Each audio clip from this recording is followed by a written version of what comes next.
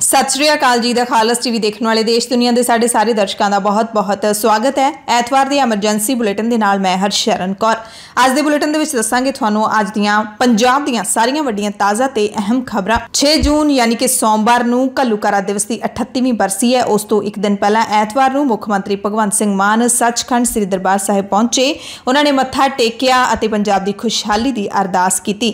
ਸੱਚਖੰਡ ਸ੍ਰੀ ਹਰਮੰਦਰ ਸਾਹਿਬ ਮੱਥਾ ਟੇਕਣ ਤੋਂ ਬਾਅਦ ਮੁੱਖ ਮੰਤਰੀ ਸ੍ਰੀ ਅਕਾਲ ਤਖਤ ਸਾਹਿਬ ਵਿਖੇ ਵੀ ਨਤਮਸਤਕ ਹੋਏ। ਉਸ ਤੋਂ ਬਾਅਦ ਉਹਨਾਂ ਨੇ ਸ੍ਰੀ ਅਕਾਲ ਤਖਤ ਸਾਹਿਬ ਦੇ ਕਾਰਜਕਾਰੀ ਜਥੇਦਾਰ ਗਿਆਨੀ ਹਰਪ੍ਰੀਤ ਸਿੰਘ ਦੇ ਨਾਲ ਅਕਾਲ ਤਖਤ ਸਾਹਿਬ ਸਕੱਤਰੇਤ ਦੇ ਵਿਖੇ ਮੁਲਾਕਾਤ ਵੀ ਕੀਤੀ। ਇਸ ਮੁਲਾਕਾਤ ਦੇ ਵਿੱਚ ਪੰਜਾਬ ਦੇ ਸਭ ਤੋਂ ਵੱਡੇ ਸਿਆਸੀ ਤੇ ਧਾਰਮਿਕ ਲੀਡਰਾਂ ਦੀ ਗੱਲਬਾਤ ਕੀ ਹੋਈ ਹੈ, ਇਸ ਦੀ ਕੋਈ ਵੀ ਭਿਣਕ ਮੀਡੀਆ ਨੂੰ ਨਹੀਂ ਦਿੱਤੀ ਗਈ, ਕੁਝ ਵੀ ਜਨਤਕ ਨਹੀਂ ਕੀਤਾ ਗਿਆ।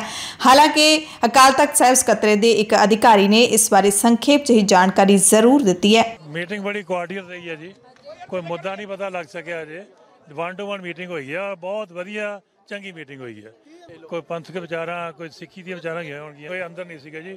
ਅੰਦਰ ਸਿੰਘ ਸਾਹਿਬ ਜੀ ਦੇ ਮਾਨ ਸਾਹਿਬ। ਮੈਨੂੰ ਲੱਗਦਾ ਨਹੀਂ ਕਿਉਂਕਿ ਅਜੇ ਸਾਡੀ ਗੱਲ ਹੋਈ ਨਹੀਂ, ਲੇਕਿਨ ਮੀਟਿੰਗ ਵਾਸ ਵੈਰੀ ਕੋਆਰਡੀਨਲ ਭਲਾ ਹੁੰਦਾ ਹੈ, ਜਿਹਨੂੰ ਦੇਣੀ ਜਾਂ ਨਹੀਂ ਦੇਣੀ।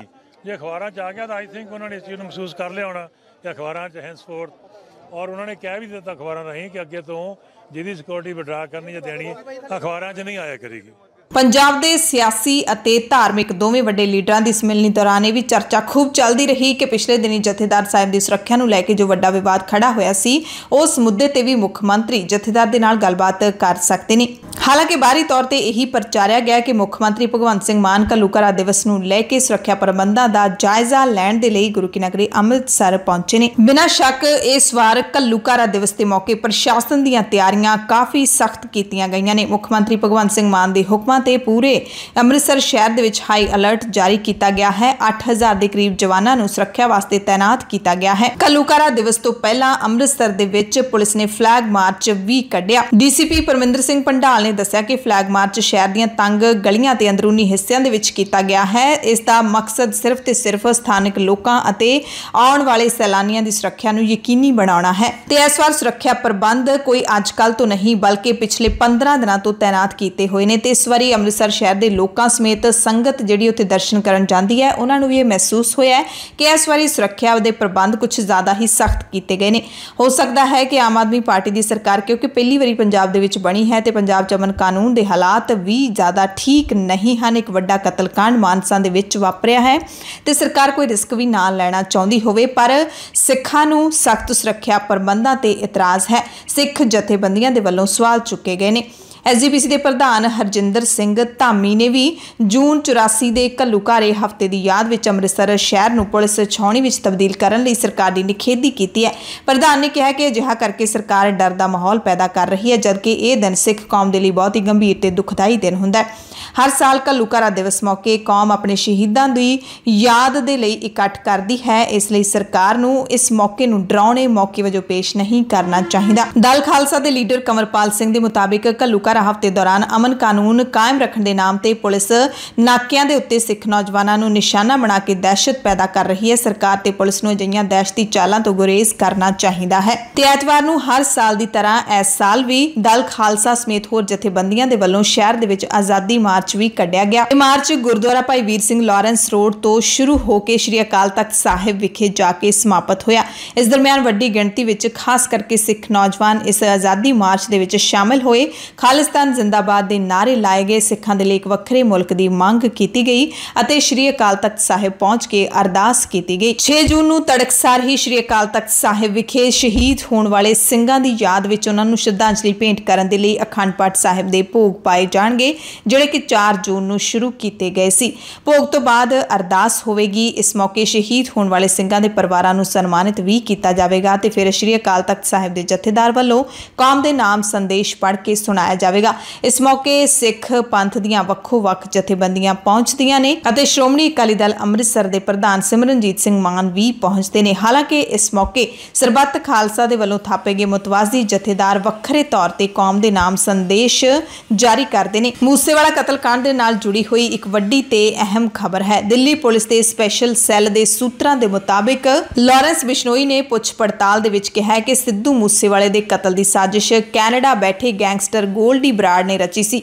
ਇਹ ਕਤਲ ਗੈਂਗ ਦੁਸ਼ਮਣੀ ਦਾ ਨਤੀਜਾ ਹੈ। ਬਿਸ਼ਨੋਈ ਸਪੈਸ਼ਲ ਸੈੱਲ ਦੀ ਹਿਰਾਸਤ ਵਿੱਚ ਹੈ, ਜਿਸ ਦੀ ਮਿਆਦ ਐਤਵਾਰ ਨੂੰ ਖਤਮ ਹੋ ਗਈ। ਸਪੈਸ਼ਲ ਸੈੱਲ ਨੇ ਹਾਲ ਹੀ ਵਿੱਚ ਬਰਾੜ ਦੇ ਸਾਥੀ ਗੈਂਗਸਟਰ ਲਾਰੈਂਸ ਬਿਸ਼ਨੋਈ ਨੂੰ ਮੂਸੇਵਾਲਾ ਕਤਲ ਕੇਸ ਵਿੱਚ ਹਿਰਾਸਤ ਵਿੱਚ ਲਿਆ ਸੀ ਤੇ ਸੂਤਰ ਦੱਸਦੇ ਨੇ ਕਿ ਬਿਸ਼ਨੋਈ ਨੇ ਵੀ ਮੂਸੇਵਾਲੇ ਦੇ ਕਤਲ ਪਿੱਛੇ ਬਰਾੜ ਦਾ ਹੀ ਨਾਮ ਲਿਆ ਹੈ ਤੇ ਜਦੋਂ ਲੰਗੇ ਐਤਵਾਰ ਨੂੰ ਸਿੱਧੂ ਮੂਸੇਵਾਲੇ ਦਾ ਕਤਲ ਹੋਇਆ ਸੀ, ਭਿਆਨਕ ਕਤਲ ਹੋਇਆ ਸੀ, ਉਸ ਤੋਂ ਬਾਅਦ ਗੋਲਡੀ ਬਰਾੜ ਨਾਮ ਦੇ ਇੱਕ ਫੇਸਬੁੱਕ ਅਕਾਊਂਟ ਦੇ ਵੱਲੋਂ ਹੀ ਮੂਸੇਵਾਲੇ ਦੇ ਕਤਲ ਦੀ ਜ਼ਿੰਮੇਵਾਰੀ ਲਈ ਗਈ ਸੀ। ਬਿਸ਼ਨੋਈ ਨੇ ਪੁੱਛ ਪੜਤਾਲ ਕਰਨ ਵਾਲਿਆਂ ਨੂੰ ਦੱਸਿਆ ਕਿ ਮੂਸੇਵਾਲਾ ਉਹਨਾਂ ਦੇ ਗੈਂਗ ਖਿਲਾਫ ਸਾਜ਼ਿਸ਼ ਰਚਣ ਦੇ ਵਿੱਚ ਸ਼ਾਮਿਲ ਸੀ। ਇਸ ਲਈ ਅਸੀਂ ਉਸ ਨੂੰ ਮਾਰਨਾ ਚਾਹੁੰਦੇ ਸੀ। ਕਹਿੰਦੇ ਮੂਸੇਵਾਲੇ ਦਾ ਨਾਮ ਸਾਡੇ ਭਰਾ ਵਿਕਰਮਜੀਤ ਸਿੰਘ ਮਿੱਡੂ ਖੇੜਾ ਅਤੇ ਗੁਰਲਾਲ ਬਰਾੜ ਦੇ ਕਤਲ ਵਿੱਚ ਆਇਆ ਸੀ, ਪਰ ਪੰਜਾਬ ਪੁਲਿਸ ਨੇ ਉਸ ਦੇ ਖਿਲਾਫ ਕੋਈ ਕਾਰਵਾਈ ਨਹੀਂ ਕੀਤੀ। ਹਾਲਾਂਕਿ ਵਿੱਕੀ ਮਿੱਡੂ ਖੇੜਾ ਦੇ ਕਤਲ ਮਾਮਲੇ ਦੇ ਵਿੱਚ ਅੱਜ ਤੱਕ ਪੁਲਿਸ ਦੀ ਜਾਂਚ ਵਿੱਚ ਕਦੇ ਵੀ ਮੂਸੇਵਾਲੇ ਦਾ ਨਾਮ ਆਇਆ ਹੀ ਨਹੀਂ, ਜ਼ਿਕਰ ਹੀ ਨਹੀਂ ਹੋਇਆ, ਨਾ ਹੀ ਪੰਜਾਬ ਪੁਲਿਸ ਨੇ ਉਸ ਨੂੰ ਕਦੇ ਤਲਬ ਕੀਤਾ। ਕਹਿੰਦੇ ਲਾਰੈਂਸ ਬਿਸ਼ਨੋਈ ਕਹਿੰਦਾ ਹੈ ਕਿ ਮੂਸੇਵਾਲਾ ਸਾਡੇ ਸਾਥੀ ਅੰਕਿਤ ਭਾਦੂ ਦੇ ਮੁਕਾਬਲੇ ਵਿੱਚ ਵੀ ਸ਼ਾਮਲ ਸੀ, ਉਸਨੇ ਸਾਡੇ ਖਿਲਾਫ ਕਈ ਸਾਜ਼ਿਸ਼ਾਂ ਰਚੀਆਂ। ਕਹਿੰਦੇ ਗੋਲਡੀ ਬਰਾੜ ਇਸ ਸਭ ਤੋਂ ਨਾਰਾਜ਼ ਸੀ ਤੇ ਮੂਸੇਵਾਲੇ ਤੋਂ ਬਦਲਾ ਲੈਣਾ ਚਾਹੁੰਦਾ ਸੀ। ਹਾਲਾਂਕਿ ਬਿਸ਼ਨੋਈ ਨੇ ਪੁੱਛ ਪੜਤਾਲ ਦੇ ਵਿੱਚ ਇਹ ਨਹੀਂ ਦੱਸਿਆ ਕਿ ਮੂਸੇਵਾਲੇ ਨੂੰ ਗੋਲੀਆਂ ਕਿਸ ਨੇ ਮਾਰੀਆਂ। ਜਦਕਿ ਦੋ ਤਿੰਨ ਦਿਨ ਪਹਿਲਾਂ ਲਾਰੈਂਸ ਬਿਸ਼ਨੋਈ ਦੇ ਭਾਣਜੇ ਸਚਿਨ ਬਿਸ਼ਨੋਈ ਨੇ ਸ਼ਰੇਆਮ ਫੋਨ ਦੇ ਉੱਤੇ ਆ ਕੇ ਪੱਤਰਕਾਰ ਨੂੰ ਕਿਹਾ ਸੀ ਕਿ ਮੂਸੇਵਾਲੇ ਨੂੰ ਮੈਂ ਆਪਣੇ ਹੱਥਾਂ ਨਾਲ ਮਾਰਿਆ ਹੈ, ਮੇਰਾ ਕੋਈ ਕੁਝ ਵਿਗਾੜ ਨਹੀਂ ਸਕਦਾ। ਤੇ ਜੇ ਪੁਲਿਸ ਦੀ ਜਾਂਚ ਦੀ ਗੱਲ ਕਰ ਲਈਏ ਤਾਂ ਲਗਾਤਾਰ ਹਾਲੇ ਤੱਕ ਪੁਲਿਸ ਦੇ ਹੱਥ ਖਾਲੀ ਨੇ। ਹਾਲਾਂਕਿ ਮਾਨਸਾ ਪੁਲਿਸ ਦੇ ਐਸਐਸਪੀ ਨੇ ਇੱਕ ਦਿਨ ਪਹਿਲਾਂ ਕਿਹਾ ਸੀ ਕਿ ਅਸੀਂ ਜਾਂਚ ਦੇ ਬਹੁਤ ਨੇੜੇ ਹਾਂ, ਜਲਦੀ ਹੀ ਖੁਲਾਸਾ ਕੀਤਾ ਜਾਵੇਗਾ ਤੇ ਸਿੱਧੂ ਮੂਸੇਵਾਲੇ ਦੇ ਕਤਲ ਵਿੱਚ ਇੱਕ ਦੋ ਨਹੀਂ, ਬਹੁਤ ਸਾਰੇ ਲੋਕ ਸ਼ਾਮਲ ਸਨ, ਕੜੀਆਂ ਜੁੜਦੀਆਂ ਜਾ ਰਹੀਆਂ ਨੇ, ਕਾਫੀ ਸਾਰੇ ਸੁਰਾਗ ਸਾਨੂੰ ਮਿਲ ਚੁੱਕੇ ਨੇ ਤੇ ਛੇਤੀ ਹੀ ਕਾਤਲਾਂ ਦਾ ਖੁਲਾਸਾ ਕੀਤਾ ਜਾਊਗਾ। ਉਧਰ ਮਾਨਸਾ ਦੇ ਪਿੰਡ ਮੂਸਾ ਦੇ ਵਿੱਚ ਸ਼ੁਭਦੀਪ ਸਿੰਘ ਦੇ ਘਰ ਅਫਸੋਸ ਕਰਨ ਵਾਲਿਆਂ ਦੀ ਲੜੀ ਨਹੀਂ ਟੁੱਟ ਰਹੀ। ਹਰ ਕੋਈ, ਚਾਹੇ ਕੋਈ ਸਿਆਸੀ ਲੀਡਰ ਹੈ, ਕੋਈ ਧਾਰਮਿਕ ਲੀਡਰ ਹੈ, ਕੋਈ ਸਮਾਜ ਸੇਵੀ ਹੈ ਜਾਂ ਫਿਰ ਆਮ ਲੋਕ, ਸਾਰੇ ਨੌਜਵਾਨ ਦੀ ਕਹਿਰ ਭਰੀ ਮੌਤ ਦਾ ਅਫਸੋਸ ਕਰਨ ਦੇ ਲਈ ਪਹੁੰਚ ਰਹੇ ਨੇ। ਐਤਵਾਰ ਨੂੰ ਨਾਮਤਾਰੀ ਮੁਖੀ ਉਦੈ ਸਿੰਘ ਐਸਜੀਪੀਸੀ ਦੇ ਸਕੱਤਰ ਜਨਰਲ ਕਰਨੈਲ ਸਿੰਘ ਪੰਜੋਲੀ, ਕਿਸਾਨ ਲੀਡਰ ਗੁਰਨਾਮ ਸਿੰਘ ਚੜੋਨੀ, ਸ਼੍ਰੋਮਣੀ ਅਕਾਲੀ ਦਲ ਦੇ senior leader professor Prem Singh Chandumajra, Jago party ਦੇ ਪ੍ਰਧਾਨ ਮਨਜੀਤ ਸਿੰਘ ਜੀਕੇ, ਆਮ ਆਦਮੀ ਪਾਰਟੀ ਦੇ ਵਿਧਾਇਕ ਅਮਨ ਅਰੋੜਾ ਤੇ ਨਰਿੰਦਰ ਕੌਰ ਭਰਾਜ, ਬੀਜੇਪੀ ਦੇ ਲੀਡਰ ਤੇ ਰਾਜ ਗਾਇਕ ਹੰਸ ਰਾਜ ਹੰਸ ਸਮੇਤ ਬੀਜੇਪੀ ਦੇ ਲੀਡਰ ਮਨਜਿੰਦਰ ਸਿੰਘ ਸਿਰਸਾ ਵੀ ਮੂਸੇਵਾਲੇ ਦੇ ਮਾਪਿਆਂ ਦੇ ਨਾਲ ਅਫਸੋਸ ਕਰਨ ਲਈ ਪਹੁੰਚੇ। ਇਸ ਮੌਕੇ ਕਰਨੈਲ ਸਿੰਘ ਪੰਜੋਲੀ ਨੇ ਐਸਜੀਪੀਸੀ ਦੇ ਵੱਲੋਂ ਸਿੱਧੂ ਮੂਸੇਵਾਲੇ ਦੇ 8 ਜੂਨ ਨੂੰ ਪੈਣ ਵਾਲੇ ਭੋਗ ਦੇ ਵਿੱਚ ਲੰਗਰ ਦੀ ਸੇਵਾ ਕਰਨ ਦੀ ਪੇਸ਼ਕਸ਼ ਕੀਤੀ ਪਰ ਸਿੱਧੂ ਮੂਸੇਵਾਲੇ ਦੇ ਮਾਤਾ-ਪਿਤਾ ਨੇ ਇਸ ਪੇਸ਼ਕਸ਼ ਦੇ ਲਈ ਧੰਨਵਾਦ ਕਰਦਿਆਂ ਇਹ ਕਿਹਾ ਕਿ ਅਸੀਂ ਰਸਦ ਦੀ ਸੇਵਾ ਆਪਣੇ ਪੁੱਤ ਦੇ ਭੋਗ ਤੇ ਇਹ ਸੇਵਾ ਖੁਦ ਕਰਨਾ ਚਾਹੁੰਦੇ ਹਾਂ। ਉਹਦੇ ਵਿੱਚ ਸ਼੍ਰੋਮਣੀ ਕਮੇਟੀ ਨੇ ਕੱਲ ਸਰਬਸੰਮਤੀ ਨਾਲ ਇਹ ਫੈਸਲਾ ਕਰ ਦਿੱਤਾ ਸੀ ਕਿ ਜਿਹੋ ਜਿਹੇ ਪ੍ਰਬੰਧ ਪਰਿਵਾਰ ਚਾਹੁੰਦਾ ਹੈ, ਜਿਹੇ ਪ੍ਰਬੰਧ ਸ਼੍ਰੋਮਣੀ ਗੁਰਦੁਆਰਾ ਪ੍ਰਬੰਧਕ ਕਮੇਟੀ ਕਰ ਦੇਵੇ। ਲੰਗਰ ਲਾਉਣ ਦੀ ਲੋੜ ਪਈ। ਲੰਗਰ ਦਾ ਪ੍ਰਬੰਧ ਵੀ ਸ਼੍ਰੋਮਣੀ ਕਮੇਟੀ ਕਰੇਗੀ। ਪਰ ਉਹਨਾਂ ਦੇ ਸਨਮਾਨਯੋਗ ਪਿਤਾ ਜੀ ਨੇ ਕਿਹਾ ਵੀ ਲੰਗਰ ਦੇ ਉੱਤੇ ਜਿੰਨਾ ਵੀ ਰਸ਼ਦ ਜਿਹੜਾ ਹੈ, ਉਹ ਅਸੀਂ ਪਰਿਵਾਰ ਵੱਲੋਂ ਦੇਵਾਂਗੇ। ਸਾਨੂੰ ਮੇਨ ਪਾਵਰ ਦੀ ਜ਼ਰੂਰਤ ਹੈ।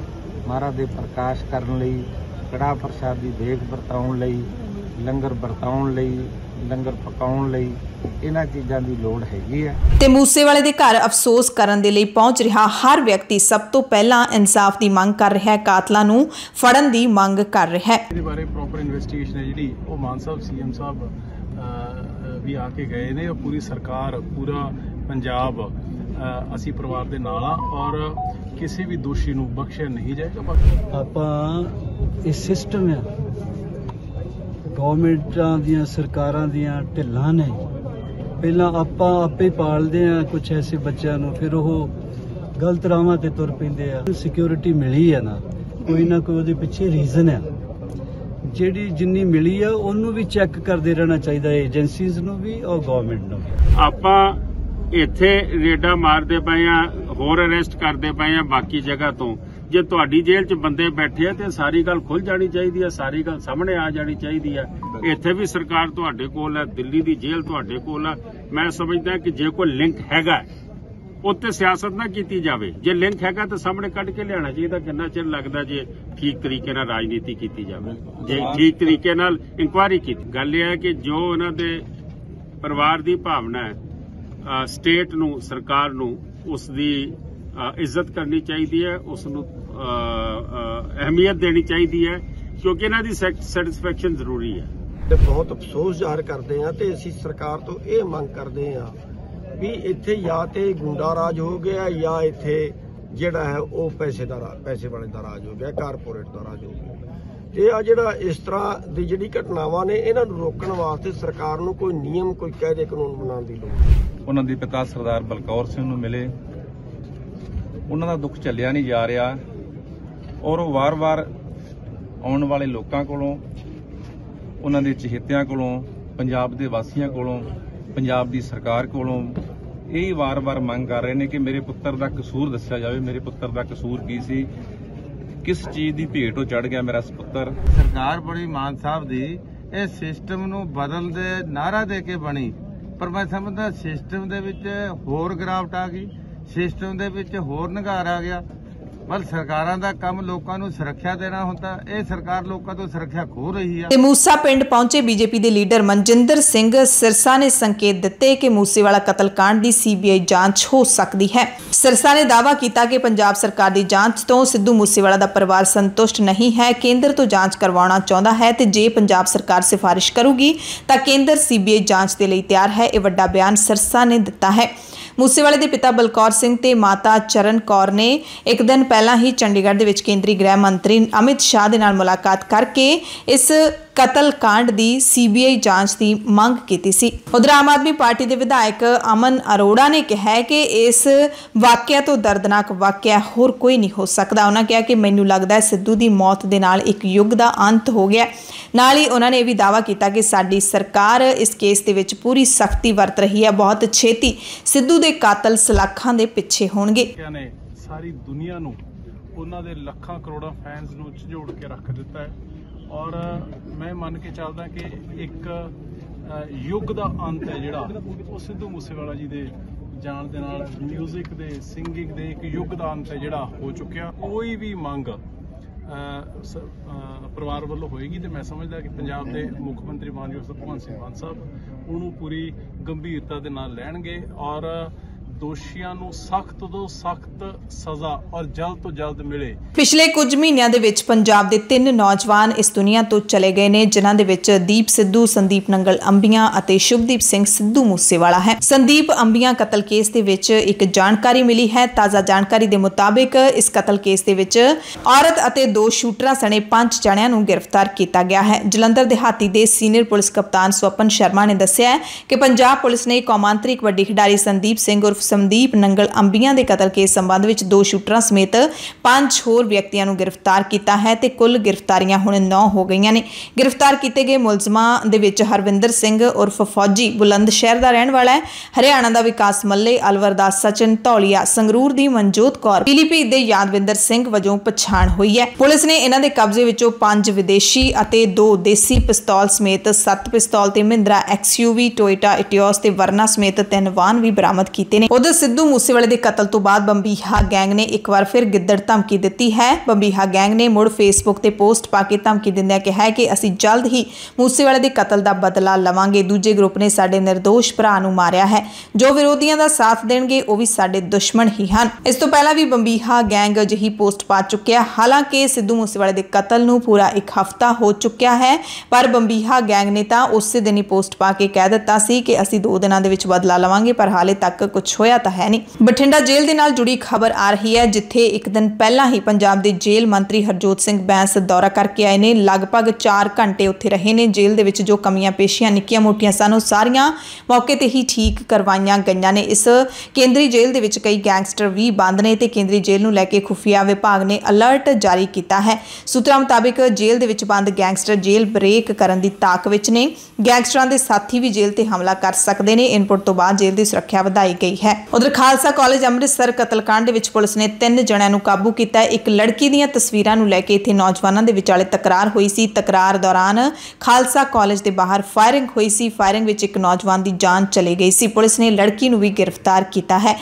ਪੁਲਿਸ ਨੇ 6 ਨੌਜਵਾਨਾਂ ਖਿਲਾਫ ਪਰਚਾ ਦਰਜ ਕੀਤਾ ਹੈ। ਬਾਕੀਆਂ ਦੀ ਗ੍ਰਿਫਤਾਰੀ ਲਈ ਛਾਪੇਮਾਰੀ ਜਾਰੀ ਹੈ। ਹੁਣੇ-ਹੁਣੇ ਖਬਰਾਂ ਪੜ੍ਹਦੇ ਵਕਤ ਸਾਨੂੰ ਇਹ ਵੀ ਖਬਰ ਮਿਲ ਰਹੀ ਹੈ ਕਿ ਲਾਰੈਂਸ ਬਿਸ਼ਨੋਈ ਦਾ ਪੁਲਿਸ ਰਿਮਾਂਡ ਵਧਾ ਦਿੱਤਾ ਗਿਆ ਹੈ। ਲਾਰੈਂਸ ਬਿਸ਼ਨੋਈ ਦਾ ਪੁਲਿਸ ਨੇ ਹੋਰ ਰਿਮਾਂਡ ਮੰਗਿਆ ਸੀ। ਸਪੈਸ਼ਲ ਸੈੱਲ ਨੇ ਇਹ ਵੀ ਜਾਣਕਾਰੀ ਦਿੱਤੀ ਹੈ ਕਿ ਸੁਰੱਖਿਆ ਕਾਰਨਾਂ ਕਰਕੇ ਲਾਰੈਂਸ ਬਿਸ਼ਨੋਈ ਨੂੰ ਪੰਜਾਬ ਤਾਂ ਨਹੀਂ ਲਿਜਾਇਆ ਜਾਵੇਗਾ, ਪਰ ਇੱਥੇ ਪੁਲਿਸ ਦੇ ਵੱਲੋਂ ਜ਼ਰੂਰ ਪੁੱਛਗਿੱਛ ਕੀਤੀ ਜਾਵੇਗੀ। ਸੋ ਉਸ ਦਾ 5 ਦਿਨਾਂ ਦਾ ਹੋਰ ਪੁਲਿਸ ਰਿਮਾਂਡ ਵਧਾ ਦਿੱਤਾ ਗਿਆ। ਮਾਨਸਾ ਜ਼ਿਲ੍ਹੇ ਤੋਂ ਇੱਕ ਖਬਰ ਹੈ, ਜਿੱਥੇ ਭਿੱਖੀ ਦੇ ਵਿੱਚ ਇੱਕ ਨੌਜਵਾਨ ਨੇ ਥਾਣੇ ਦੇ ਮੂਹਰੇ ਆਪਣੇ ਆਪ ਨੂੰ ਅੱਗ ਲਾ ਕੇ ਖੁਦਕੁਸ਼ੀ ਕਰ ਲਈ। ਜਾਣਕਾਰੀ ਮੁਤਾਬਕ ਭਿੱਖੀ ਦੇ ਵਾਰਡ ਨੰਬਰ 9 ਦੇ ਰਹਿਣ ਵਾਲੇ ਨੌਜਵਾਨ ਨੇ ਘਰੇਲੂ ਕਲੇਸ਼ ਦੇ ਚੱਲਦਿਆਂ ਸ਼ਨੀਵਾਰ ਦੇਰ ਸ਼ਾਮ ਨੂੰ ਪੈਟਰੋਲ ਪਾ ਕੇ ਅੱਗ ਲਾ ਲਈ। ਪੀੜਤ ਨੂੰ ਤੁਰੰਤ ਹਸਪਤਾਲ ਪਹੁੰਚਾਇਆ ਗਿਆ, ਜਿਸ ਤੋਂ ਬਾਅਦ ਉਸ ਨੂੰ ਪਟਿਆਲਾ ਭੇਜ ਦਿੱਤਾ ਗਿਆ, ਜਿੱਥੋਂ ਪੀਜੀਆਈ ਚੰਡੀਗੜ੍ਹ ਰੈਫਰ ਕਰ ਦਿੱਤਾ ਗਿਆ। ਚੰਡੀਗੜ੍ਹ ਨੂੰ ਜਾਂਦੇ ਹੋਏ ਰਾਹ ਵਿੱਚ ਉਸਨੇ ਦਮ ਤੋੜ ਦਿੱਤਾ। ਮ੍ਰਿਤਕ ਦੀ ਪਛਾਣ ਮਨਪ੍ਰੀਤ ਸਿੰਘ ਵਜੋਂ ਹੋਈ ਹੈ। ਮਨਪ੍ਰੀਤ ਦਾ ਪਿਛਲੇ ਸਮੇਂ ਤੋਂ ਘਰੇਲੂ ਕਲੇਸ਼ ਚੱਲਦਾ ਸੀ। ਦੱਸਿਆ ਜਾ ਰਿਹਾ ਹੈ ਕਿ ਮ੍ਰਿਤਕ ਮਨਪ੍ਰੀਤ ਦਾ ਪਿਤਾ ਮਾਨਸਾ ਪੁਲਿਸ ਵਿੱਚ ਏਐਸਆਈ ਵਜੋਂ ਤਾਇਨਾਤ ਹੈ। ਲੋਕ ਇਨਸਾਫ ਪਾਰਟੀ ਦੇ ਮੁਖੀ ਸਿਮਰਜੀਤ ਸਿੰਘ ਬੈਂਸ ਦੀ ਜਾਇਦਾਦ ਕੁਰਕ ਹੋਵੇਗੀ। ਲੁਧਿਆਣਾ ਅਦਾਲਤ ਨੇ ਹੁਕਮ ਜਾਰੀ ਕਰ ਦਿੱਤੇ ਨੇ। ਸਿਮਰਜੀਤ ਸਿੰਘ ਬੈਂਸ ਬਲਾਤਕਾਰ ਦੇ ਕੇਸ ਸਮੇਤ ਹੋਰ ਕਈ ਕੇਸਾਂ ਦੇ ਵਿੱਚ ਫਸੇ ਹੋਏ ਨੇ ਤੇ ਇਸ ਕੇਸ ਦੇ ਵਿੱਚ ਅਦਾਲਤ ਨੇ ਉਸ ਦੇ ਗ੍ਰਿਫਤਾਰੀ ਵਾਰੰਟ ਜਾਰੀ ਕੀਤੇ ਸੀ, ਪਰ ਸਿਮਰਜੀਤ ਬੈਂਸ ਲਗਾਤਾਰ ਭਗੌੜੇ ਚੱਲ ਰਹੇ ਨੇ ਤੇ ਹੁਣ ਉਸ ਦੀ ਜਾਇਦਾਦ ਕੁਰਕ ਕਰਨ ਦੇ ਹੁਕਮ ਸੁਣਾ ਦਿੱਤੇ ਗਏ ਨੇ। ਹੋ ਸਕਦਾ ਹੈ ਕਿ ਹੁਣ ਸਿਮਰਜੀਤ ਸਿੰਘ ਬੈਂਸ ਅਦਾਲਤ ਦੇ ਮੂਹਰੇ ਪੇਸ਼ ਹੋ ਜਾਣ। ਸੰਗਰੂਰ ਜ਼ਿਮਨੀ ਚੋਣ ਦੇ ਲਈ ਨਾਮਜ਼ਦਗੀਆਂ ਦਾਖਲ ਕਰਨ ਦਾ ਆਖਰੀ ਦਿਨ 6 ਜੂਨ ਹੈ। ਤਕਰੀਬਨ ਸਾਰੀਆਂ ਪਾਰਟੀਆਂ ਨੇ ਨਾਮਜ਼ਦਗੀਆਂ ਦਾਖਲ ਕਰ ਦਿੱਤੀਆਂ ਨੇ। ਉਮੀਦਵਾਰ ਅਨਾਉਂਸ ਕਰ ਦਿੱਤੇ ਨੇ। ਬੀਜੇਪੀ ਤੇ ਕਾਂਗਰਸ ਬਚਤੇ ਸੀ। ਹੁਣ ਬੀਜੇਪੀ ਨੇ ਵੀ ਕਾਂਗਰਸ ਦਾ ਜਿਹੜਾ ਕੱਢ ਕੇ ਲਿਆਂਦਾ ਲੀਡਰ ਹੈ, ਉਸੇ ਨੂੰ ਸੰਗਰੂਰ ਜ਼ਿਮਨੀ ਚੋਣ ਦੇ ਲਈ ਉਮੀਦਵਾਰ ਐਲਾਨ ਦਿੱਤਾ ਹੈ। ਇੱਕ ਦਿਨ ਪਹਿਲਾਂ ਕਾਂਗਰਸ ਛੱਡ ਕੇ ਬੀਜੇਪੀ 'ਚ ਸ਼ਾਮਿਲ ਹੋਏ। ਬਰਨਾਲਾ ਦੇ ਸਾਬਕਾ ਵਿਧਾਇਕ ਕੇਵਲ ਸਿੰਘ ਢਿੱਲੋਂ ਨੂੰ ਬੀਜੇਪੀ ਨੇ ਮੈਦਾਨ ਵਿੱਚ ਉਤਾਰਨ ਦਾ ਫੈਸਲਾ ਲਿਆ ਹੈ। ਢਿੱਲੋਂ ਬਰਨਾਲਾ ਤੋਂ ਦੋ ਵਾਰੀ ਵਿਧਾਇਕ ਰਹਿ ਚੁੱਕੇ ਨੇ। ਉਹ ਕਾਂਗਰਸ ਵਿੱਚ ਕਈ ਅਹਿਮ ਅਹੁਦਿਆਂ ਤੇ ਵੀ ਰਹਿ ਚੁੱਕੇ ਨੇ। ਪੰਜਾਬ ਕਾਂਗਰਸ ਦੇ ਸੀਨੀਅਰ ਮੀਤ ਪ੍ਰਧਾਨ ਸਮੇਤ ਉਹ AICC ਦੇ ਮੈਂਬਰ ਵੀ ਸਨ। 2019 ਦੇ ਵਿੱਚ ਸੰਗਰੂਰ ਤੋਂ ਭਗਵੰਤ ਮਾਨ ਦੇ ਵਿਰੁੱਧ ਉਹਨਾਂ ਨੇ ਲੋਕ ਸਭਾ ਚੋਣ ਵੀ ਲੜੀ ਸੀ। ਸੋ ਹੁਣ 23 ਜੂਨ ਨੂੰ ਜ਼ਿਮਨੀ ਚੋਣ ਹੋਣ ਜਾ ਰਹੀ ਹੈ ਤੇ 6 ਜੂਨ ਨੂੰ ਨਾਮਜ਼ਦਗੀਆਂ ਭਰਨ ਦਾ ਆਖਰੀ ਦਿਨ ਹੈ। ਸ਼੍ਰੋਮਣੀ ਗੁਰਦੁਆਰਾ ਪ੍ਰਬੰਧਕ ਕਮੇਟੀ ਸਿਰੋਪਾਓ ਭੇਂਟ ਕਰਨ ਦੇ ਲਈ ਨਵੇਂ ਦਿਸ਼ਾ ਨਿਰਦੇਸ਼ ਤੈਅ ਕਰੇਗੀ। ਇਸ ਤੋਂ ਇਲਾਵਾ SGPC ਦੇ ਵਿਦਿਅਕ ਅਦਾਰਿਆਂ ਦੇ ਅੰਮ੍ਰਿਤਧਾਰੀ ਵਿਦਿਆਰਥੀਆਂ ਲਈ ਸਾਲਾਨਾ ਵਜ਼ੀਫੇ ਵੀ ਜਾਰੀ ਰੱਖਣ ਦਾ ਫੈਸਲਾ ਕਮੇਟੀ ਨੇ ਲਿਆ ਹੈ। ਕਮੇਟੀ ਦੀ ਕਾਰਜਕਾਰਨੀ ਦੇ ਮੈਂਬਰਾਂ ਦੇ ਵੱਲੋਂ ਇਹ ਫੈਸਲੇ ਲਏ ਗਏ ਨੇ। SGPC ਪ੍ਰਧਾਨ ਐਡਵੋਕੇਟ ਹਰਜਿੰਦਰ ਸਿੰਘ ਧਾਮੀ ਨੇ ਕਿਹਾ ਕਿ ਭਵਿੱਖ ਵਿੱਚ ਗੁਰਦੁਆਰਿਆਂ ਦੇ ਪ੍ਰਕਾਸ਼ ਅਸਥਾਨ ਦੇ ਅੰਦਰ ਸਿਰੋਪਾਓ ਦੇਣ ਦੇ ਲਈ ਨਿਯਮ ਬਣਾਏ ਜਾਣਗੇ। ਵੀਆਈਪੀ ਪਤਵੰਤੇ ਜਿਵੇਂ ਕਿ ਸਰਕਾਰੀ ਅਧਿਕਾਰੀ ਜਾਂ ਗੁਰੂ ਘਰ ਪਹੁੰਚਣ ਵਾਲੀਆਂ ਪ੍ਰਮੁੱਖ ਸ਼ਖਸੀਅਤਾਂ ਦਾ ਸੰਬੰਧਿਤ ਸੂਚਨਾ ਕੇਂਦਰਾਂ ਦੇ ਵਿੱਚ ਹੀ ਸਨਮਾਨ ਕੀਤਾ ਜਾਵੇਗਾ। ਸਿਰੋਪਾਓ ਕਿਹਨਾਂ ਨੂੰ ਦਿੱਤਾ ਜਾਣਾ ਹੈ, ਉਸ ਬਾਰੇ ਜਿਹੜੇ ਲੋਕ ਸਿੱਖ ਧਰਮ ਦੇ ਇਤਿਹਾਸ ਨੂੰ ਜਾਣਦੇ ਨੇ, ਸਿਧਾਂਤਾਂ ਨੂੰ ਜਾਣਦੇ ਨੇ, ਉਹਨਾਂ ਨੂੰ ਪਤਾ ਹੀ ਹੈ ਕਿ ਸਿਰੋਂ ਸਿਰੋਪਾਓ ਦਾ ਮਤਲਬ ਹੁੰਦਾ ਹੈ ਸਿਰ ਤੋਂ ਲੈ ਕੇ ਪੈਰਾਂ ਤੱਕ ਸਨਮਾਨ। ਤੇ ਉਸ ਵਿਅਕਤੀ ਨੂੰ ਸਨਮਾਨ ਜਿਸਨੇ ਧਰਮ ਦੇ ਲਈ, ਕੌਮ ਦੇ ਲਈ, ਦੇਸ਼ ਦੇ ਲਈ ਕੁਝ ਖਾਸ ਕੀਤਾ ਹੋਵੇ, ਹਰ ਕਿਸੇ ਐਰੇ ਗੈਰੇ ਨੂੰ ਅੱਜਕੱਲ ਸਿਰੋਪਾਓ ਦੇ ਦਿੱਤਾ ਜਾਂਦਾ ਹੈ। ਇਸ ਦੇ ਵਿੱਚ ਕੋਈ ਸ਼ੱਕ ਨਹੀਂ ਹੈ। ਤੇ ਇਸ ਜਿਹੜਾ ਰੁਝਾਨ ਹੈ, ਇਸ ਰੁਝਾਨ ਨੂੰ ਕੰਟਰੋਲ ਕਰਨ ਦੀ ਸੱਚਮੁੱਚ ਬੜੀ ਲੋੜ ਹੈ, ਕਿਉਂਕਿ ਸਿਆਸੀ ਪਾਰਟੀਆਂ ਦੇ ਵੱਲੋਂ ਸਿਰੋਪਾਓ ਦੀ ਬੜੀ ਦੁਰਵਰਤੋਂ ਕੀਤੀ ਜਾਂਦੀ ਹੈ। ਕੋਈ ਵੀ ਬੰਦਾ ਜੇ ਕਿਸੇ ਹੋਰ ਪਾਰਟੀ ਤੋਂ ਆ ਕੇ ਆਪਣੀ ਪਾਰਟੀ ਦੇ ਵਿੱਚ ਸ਼ਾਮਲ ਕਰਦੇ ਨੇ ਤਾਂ ਉਹਨੂੰ ਸਿਰੋਪਾਉ ਦੇ ਕੇ ਸਨਮਾਨਿਤ ਕਰਦੇ ਨੇ। ਐਤਵਾਰ ਨੂੰ ਪੂਰੀ ਦੁਨੀਆ ਦੇ ਵਿੱਚ ਵਰਲਡ এনवायरमेंट ਡੇ ਯਾਨੀ ਕਿ ਵਿਸ਼ਵ ਵਾਤਾਵਰਣ ਦਿਵਸ ਮਨਾਇਆ ਗਿਆ। ਇਸ ਮੌਕੇ ਪੰਜਾਬ ਸਰਕਾਰ ਨੇ ਫੈਸਲਾ ਲਿਆ ਹੈ ਕਿ ਆਉਂਦੇ ਜੁਲਾਈ ਮਹੀਨੇ ਤੋਂ ਇੱਕ ਵਾਰੀ ਵਰਤੋਂ ਵਿੱਚ ਆਉਣ ਵਾਲੇ ਪਲਾਸਟਿਕ ਤੇ ਪਾਬੰਦੀ ਲਾਈ ਜਾਏਗੀ। ਸੂਬੇ ਨੂੰ ਹਰਿਆ ਭਰਿਆ ਤੇ ਸਿਹਤਮੰਦ ਬਣਾਉਣ ਦੇ ਲਈ ਕਾਰਬਨ ਨਿਕਾਸੀ ਨੂੰ ਘਟਾਉਣ ਵਾਸਤੇ ਪੰਜਾਬ ਸਰਕਾਰ ਨੇ ਇਹ ਚੰਗਾ ਫੈਸਲਾ ਲਿਆ ਹੈ। ਸੂਬਾ ਪੱਧਰੀ ਸਮਾਗਮ ਦੌਰਾਨ ਵਿਗਿਆਨ, ਟੈਕਨੋਲੋਜੀ ਤੇ ਵਾਤਾਵਰਣ ਦੇ ਸਕੱਤਰ ਰਾਹੁਲ ਤਿਵਾੜੀ ਨੇ ਸੂਬੇ ਦੇ ਵਿੱਚ ਵਾਤਾਵਰਣ ਦੀ ਸੁਰੱਖਿਆ ਲਈ ਇਸ ਫੈਸਲੇ ਦਾ ਐਲਾਨ ਕੀਤਾ। ਸੋ ਪੰਜਾਬ ਦੇ ਵਿੱਚ ਹੁਣ ਆਉਂਦੇ ਜੁਲਾਈ ਮਹੀਨੇ ਤੋਂ ਸਿੰਗਲ ਯੂਜ਼ ਪਲਾਸਟਿਕ ਤੇ ਪਾਬੰਦੀ ਲੱਗ ਜਾਏਗੀ। ਸਿਰਫ 25 ਕੁ ਦਿਨ ਤੁਹਾਡੇ ਕੋਲ ਬਾਕੀ ਨੇ। ਤੇ 25 ਦਿਨਾਂ ਦਾ ਮਤਲਬ ਇਹ ਨਹੀਂ ਕਿ ਤੁਸੀਂ ਰੱਜ ਕੇ ਪਲਾਸਟਿਕ ਦੀ ਵਰਤੋਂ ਕਰੋ। ਯਾਨੀ ਕਿ ਹੁਣ ਤੋਂ ਹੀ ਤੁਸੀਂ ਆਦਤ ਪਾ ਲਓ ਕਿ ਜੁਲਾਈ ਤੋਂ ਤਾਂ ਪਾਬੰਦੀ ਲੱਗ ਹੀ ਜਾਣੀ ਹੈ। ਇਸ ਕਰਕੇ ਤੁਸੀਂ ਹੁਣ ਹੀ ਸਿੰਗਲ ਯੂਜ਼ ਪਲਾਸਟਿਕ ਦੀ ਵਰਤੋਂ ਘਟਾ ਦਿਓ। ਤਾਜ਼ਾ ਖਬਰ ਸਾਨੂੰ ਸੰਗਰੂਰ ਜ਼ਿਮਨੀ ਚੋਣ ਦੇ ਨਾਲ ਜੁੜੀ ਹੀ ਮਿਲ ਰਹੀ ਹੈ। ਪਹਿਲਾਂ ਅਸੀਂ ਕਿਹਾ ਸੀ ਕਿ ਕਾਂਗਰਸ ਦੇ ਵੱਲੋਂ ਹਾਲੇ ਤੱਕ ਅਨਾਉਂਸਮੈਂਟ ਨਹੀਂ ਕੀਤੀ ਗਈ, ਪਰ ਹੁਣ ਖਬਰ ਮਿਲ ਰਹੀ ਹੈ ਕਿ ਕਾਂਗਰਸ ਨੇ ਵੀ ਧੂਰੀ ਦੇ ਸਾਬਕਾ ਵਿਧਾਇਕ ਦਲਬੀਰ ਗੋਲਡੀ ਨੂੰ ਐਤਕੀ ਚੋਣ ਮੈਦਾਨ ਦੇ ਵਿੱਚ ਉਤਾਰ ਦਿੱਤਾ ਹੈ। ਇਸ ਵਾਰ ਵਿਧਾਨ ਸਭਾ ਚੋਣਾਂ ਦੇ ਵਿੱਚ ਦਲਬੀਰ ਗੋਲਡੀ ਭਗਵੰਤ ਮਾਨ ਦੇ ਖਿਲਾਫ ਚੋਣ ਮੈਦਾਨ ਦੇ ਵਿੱਚ ਨਿਤਰੇ ਸੀ, ਪਰ ਕੁਝ ਵੋਟਾਂ ਦੇ ਫ਼ਰਕ ਦੇ ਨਾਲ ਹਾਰ ਗਏ ਸੀ। ਦਲਬੀਰ ਗੋਲਡੀ ਵੀ ਇਸ ਇਲਾਕੇ ਦੇ ਵਿੱਚ ਕਾਫੀ ਮੰਨਿਆ ਪਰਮੰਨਿਆ ਚਿਹਰਾ ਨੇ ਕਾਫੀ ਚਰਚਿਤ ਨੇ, ਨੌਜਵਾਨ ਕੈਂਡੀਡੇਟ ਨੇ ਤੇ ਹੋ ਸਕਦਾ ਹੈ ਕਿ ਜ਼ਿਮਨੀ ਚੋਣ ਦੇ ਵਿੱਚ ਐਤਕੀ ਕਾਂਗਰਸ ਅਤੇ ਆਮ ਆਦਮੀ ਪਾਰਟੀ ਦਾ ਮੁੱਖ ਮੁਕਾਬਲਾ ਹੋਵੇ। ਸੋ ਪੰਜਾਬ ਦੀਆਂ ਸਾਰੀਆਂ ਸਿਆਸੀ ਪਾਰਟੀਆਂ ਨੇ ਸੰਗਰੂਰ ਜ਼ਿਮਨੀ ਚੋਣ ਦੇ ਲਈ ਮੈਦਾਨ ਪਖਾ ਦਿੱਤਾ ਹੈ ਅਤੇ ਸਭ ਨੇ ਆਪੋ ਆਪਣੇ ਉਮੀਦਵਾਰ ਅਨਾਉਂਸ ਕਰ ਦਿੱਤੇ ਨੇ। ਉਧਰ ਪੈਗੰਬਰ ਮੁਹੰਮਦ ਖਿਲਾਫ ਕਥਿਤ ਤੌਰ ਤੇ ਆਪਣੇ ਬੁਲਾਰੇ ਵੱਲੋਂ ਕੀਤੀਆਂ ਵਿਵਾਦਿਤ ਟਿੱਪਣੀਆਂ ਕਾਰਨ ਕਸੂਤੀ ਫਸੀ ਬੀਜੇਪੀ ਨੇ ਸਪਸ਼ਟੀਕਰਨ ਦਿੱਤਾ ਹੈ। ਦੇਣਾ ਪਿਆ ਬੀਜੇਪੀ ਨੂੰ ਸਪਸ਼ਟੀਕਰਨ ਦਾਵਾ ਕੀਤਾ ਹੈ ਕਿ ਅਸੀਂ ਸਾਰੇ ਧਰਮਾਂ ਦਾ ਸਨਮਾਨ ਕਰਦੇ ਹਾਂ।